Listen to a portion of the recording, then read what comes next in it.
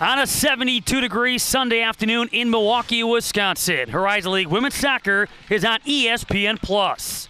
The Milwaukee Panthers host the UIC Flames. Horizon League tied for first in the nation. Caitlin Montague coming off that strong showing in which she will take a shot. Lamakia getting a piece. Schill.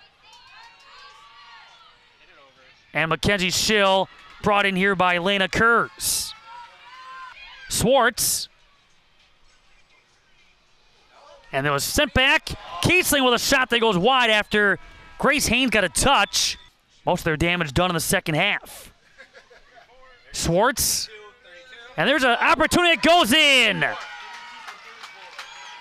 Maggie Henschler scoring the goal. Gabby Swartz with the assist. That is her 16th down the year. We'll leave it along this near touch line. Back there for the Flames is Grace Haynes. There's an opportunity to flex. Did it cross that goal line? They will call it a goal. Mackenzie Schill.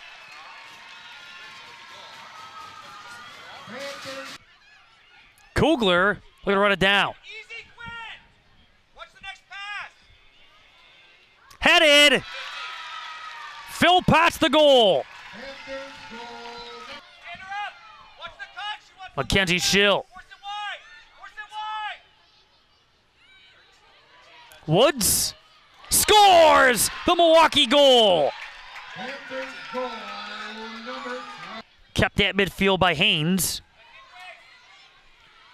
Woods going outside. Rollins. She'll take a shot. That's going to go in. This one goes final. And Milwaukee records their 10th shutout. UIC's been shut out for the 10th time.